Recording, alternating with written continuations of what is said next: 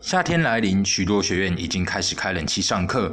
若温度过高，容易导致学生身体不适。然而，众多学生出入的图书馆，冷气温度太高，学生反映读书环境过于闷热。图书馆嘛，就是那我觉得它的那个餐饮室，就是有时候会比较闷热一点，可能是因为门关起来，它好像是整馆流通的冷气，所以有时候图那个餐饮室的部分可能就比较闷热，尤其是人多的时候会更加严重这样子。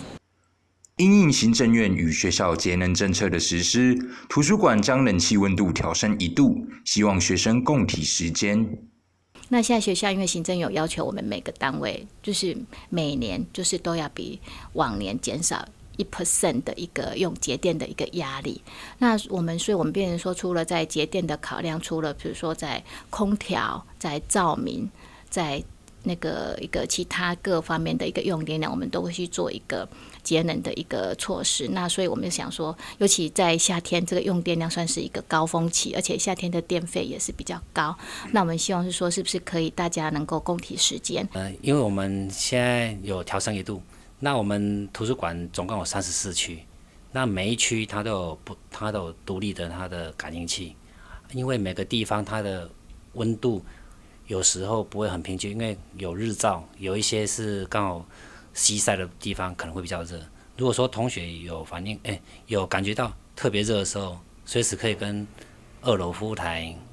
那个同学反映，他们随时可以跟我联络，那我可以来看看是是不是真的那个地方可以再调凉一点。